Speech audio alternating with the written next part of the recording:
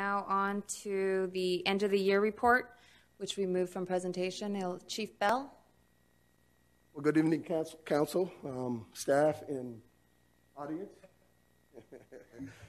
um, I'm actually very excited to introduce the West Covina Police Department's first annual review.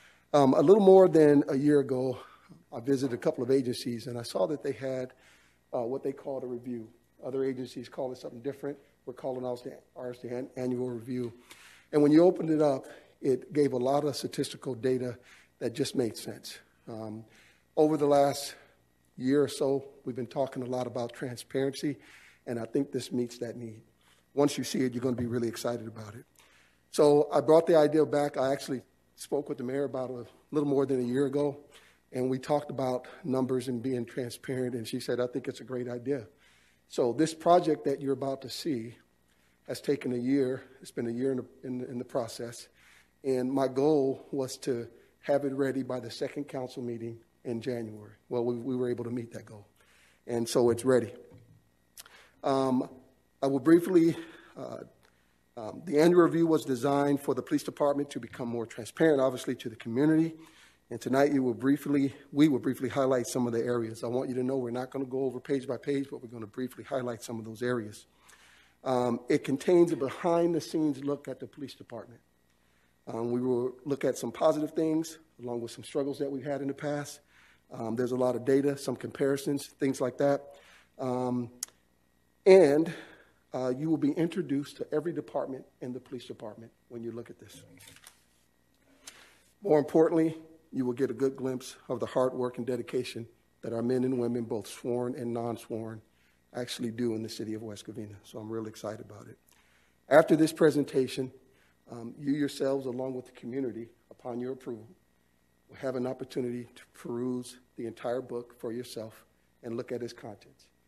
You'll actually have the whole year to ask me any questions you want. Um, and I, uh, I have to put this out because I know someone will ask when you look at the pictures, when we get to some of those pictures, those pictures were actually taken in 2019, not 2020. Because of COVID, we weren't able to gather the way that we're supposed to. So we took some of the events that we were doing in 2019, because those were the ones we, we did quite often, and we presented those instead. So don't get alarmed if you see groups of people without masks on. It's because it was from 2019. So my goal is to have an annual review every year going forward. And I think once you see it, you will really like it. Um, I also want to make sure that if there is a organization out there that we somehow missed, um, if there's someone we didn't acknowledge, I want to say please charge it to my heart. Um, it wasn't on purpose. We tried to put as much as we could with the budget we had, but I think you're really going to like what we came out with. So at this time, I would like to ask our lieutenant to come down. This is Lieutenant Tim Rogers. Um, he has been very instrumental in putting this together, and he is going to walk you through um, our annual review. And I'll be back. It is still good evening. It's not morning yet. It's getting, getting close, though, council and city staff. Um, I'm just going to walk us through this just real briefly. Um, there will be a hard copy that each of you will get. Uh, it's also on, it will be on our website.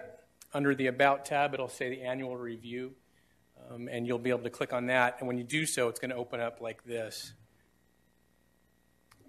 So we'll just go over a few pages, a couple highlights.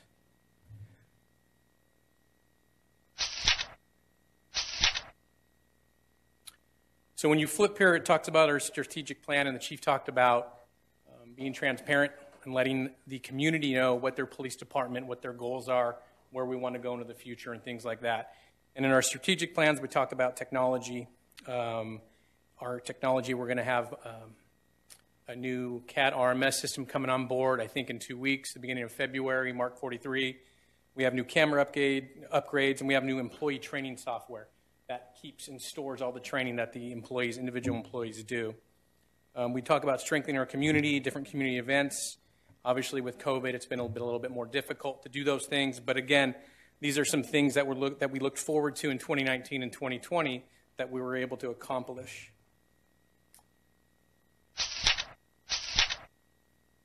Introduces our command staff.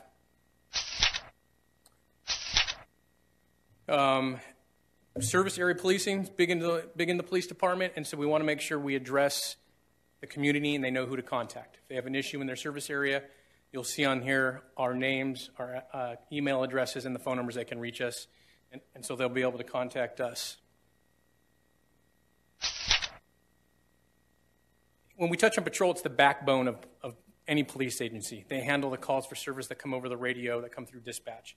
And so we're able to give the city a glimpse of what they might do. And if you look there, my eyes, eyes are not as good as they used to be, but you'll see quite a large number of calls for service that we handle.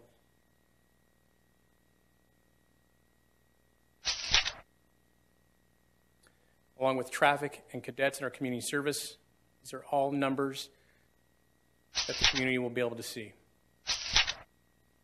Along with patrol, once officers handle calls or go to crime reports, they go to the detective bureau.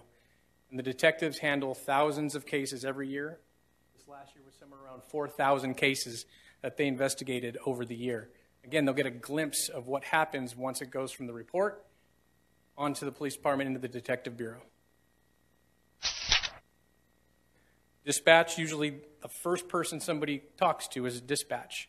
And you can see here the number of calls that they handle is over 150,000 calls that they're answering, at least in 2020. Go back just one page. You have our crime analyst and our victims advocate. Crime analyst is um, Erica Taylor. She's a large part of working with the Detective Bureau and gathering the, the statistics and kind of crime trends and helping them solve crimes. And uh, Erica Taylor, she's our victims advocate. That's a service that we provide our victims that they're able to communicate and get services from them. And again, this will give them an idea of what services are offered by our victims advocate. Uh, training is really important, um, especially in today's day and age. Everybody's concerned with the training the police department gets. We, we need to be professional. We need to be, maintain our training standards. This police department has always maintained a very high level of training and has done so since I've been here. And this is just a glimpse of how much training we've attended in 2019 and 2020. Um, there's a lot more training involved, but it would probably take up multiple pages. But this is just a glimpse of the training that we attend on an annual basis.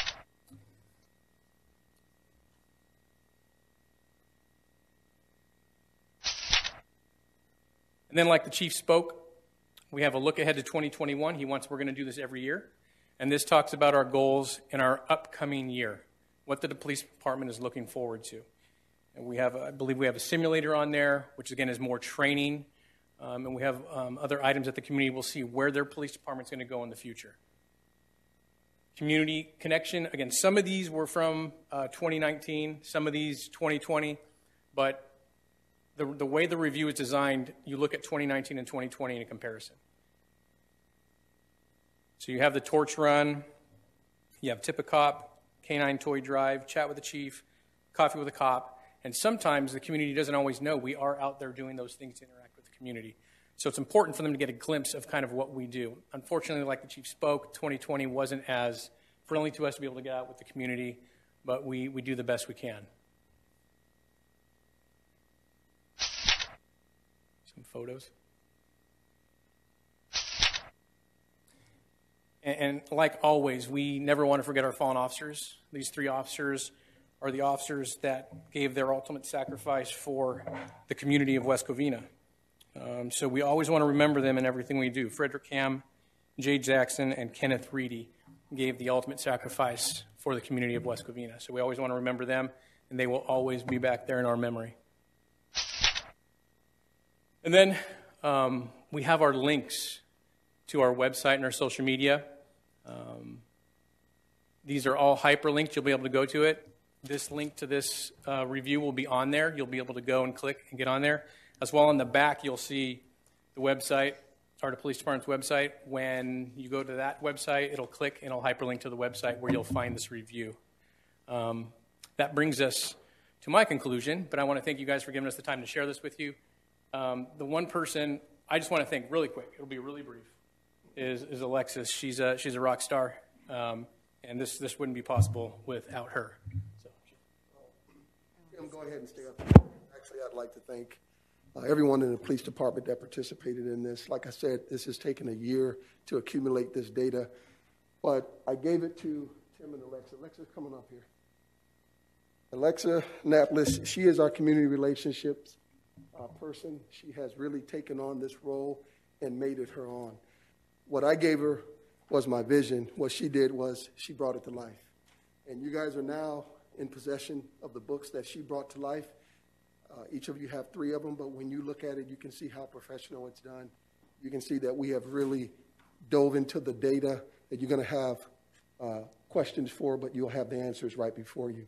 But I cannot thank Alexa enough for what she's done. I mean, she took it and made it her own, and I am just so excited about it. Come on up here. I want everybody to see you. Step right up here because everybody needs to see her. Um, she's only been with us for three years, but when I tell you she took the bull by the horn, she did exactly that. We didn't have to give her much guidance. Obviously, Tim is her supervisor, uh, but he just basically kept her in lines. But she took off, and she really made this what it was today. So I want to thank you. Uh, there are others um, uh, that I'd like to thank briefly. Uh, Brandon Carmen, another lieutenant, uh, Erica Taylor, gathering some of the data. And I believe, um, believe it or not, uh, there's a young lady by the name of Katrina Rodriguez who works for C3R Innovation Marketing. And the reason I bring her up is because we were punched at a deadline and we needed this book yesterday.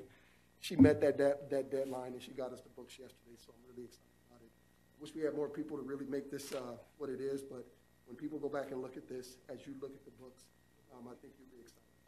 Thank you. And I have a few more books. We didn't print a whole lot, but um, if the city so desires, we have the connection. We can get some more printed. I am so happy. I'm so excited. I know this was one of my projects that I obviously hit Chief Bell with last year because, uh, especially during that time when we were getting hit with the defunding police, they didn't see what I saw. And I know our department, I'm very proud of our police department. And I know you guys do so much for the community. But the problem was nobody knew about it. And so when I brought this to the chief, uh, more than a year ago and it was on him all the time. I did not expect this. I'm very impressed and I just wanted to say you guys did a fabulous job. This is just amazing. It hits everything. It's more than what I expected. And I just wanted to say thank you so much from the bottom of my heart. I greatly appreciate this and I you impressed me and uh, thank you, thank you, thank you, thank you so much. Um, go ahead, Councilman Wu. Okay, uh, and uh, very impressive. Okay, I think this is uh, this is just uh, okay, outstanding. It's very good. But I, have a question. But did you have a link for recruitment? Okay, for people to apply, okay, or something that uh, standard, okay, for people, so people can click, okay, and put their submit their application. Because I think recruitment or internship, I think this is you want to create, okay, and develop our future talent. Sure. Um, our website has a recruitment link. So if you were to go to our website, so the, there's two different, if you go to our website, there's a tab that says About. You click on the About tab, and there'll be a sub tab that says Annual Review. You click on that. Next to those tabs is a Recruitment tab. You click on the Recruitment tab, and all the recruiting is there. It takes you, takes you to the geosite where it has all the openings, not only for the police department, but for the city. And then there's recruiting pages that tells you about the police department, what positions, what the positions entail, salaries and stuff like that. That's all on our department website. And the internship, okay, any qualification do you stated for people want to apply as the internship? It goes through the hiring process and what it, what it entails, So what those standards are. for people they want to apply and they want to get some kind of uh, t- taste of uh, government, especially police department, and they want to be kind of uh, okay, see they can fit in or be qualified for the future as working the police. Not not necessarily sworn, but non-sworn too, including your dispatcher. So that can be potential internship. Sure. So when you go to the website, if you click the recruitment link and, and you go to the recruitment for our department, police officer, police recruit, dispatcher, it tells you what the qualifications are. There will be tabs within there that you can click on qualifications, minimum qualifications, benefits, all of those things. Uh, My last question, I don't want to take too much time because it'll go to midnight already. So, so, so, okay, do you get the promotion to let people, let our resident know we have this? I think we should, you should Yes. So tomorrow we're going to be doing, um, I think it's already scheduled to be um, put out on our social media The link will be out there, um, so everybody can go on it, um, and she'll put it on Facebook, Twitter, Instagram. Um, we, I think she's got our Instagram users up to over 12,000. Um, it's going to be on our website. The link's already ready to go. Just hit send and away it goes. How many editions do we can send out to the people can pick it up, okay, and look in, okay, and keep this as uh, their record? How many we? I'm going to let the chief answer that one. I'll step. I think this is something important people want to keep. It, it is very important, but again, under the, under the budget review, you're right. Um, I, I can, we can have a discussion tomorrow about how many more we could or should order. Um, but, uh, right now, I have a very limited supply. I wanted to make sure that you guys had it in case you had some individuals you want to get it to, but we can, we can discuss that further. I don't know if you thought I was going to be able to pull this off or not. I want to tell you right now, it was not I. She's really good. I know a lot of community events. She's there. She's taking photos. She meets and greets the residents out there. She, you know, she always has a smile on her face and customer service at its finest. So thank you very much. And you have quality work, and I, I love to see, you know, the integrity, the quality. It, it just shows you put in a lot of hard work in it, and you know, we greatly appreciate it, and we hope the residents can uh, appreciate this too. So thank you again. Thank you. Thank you so much.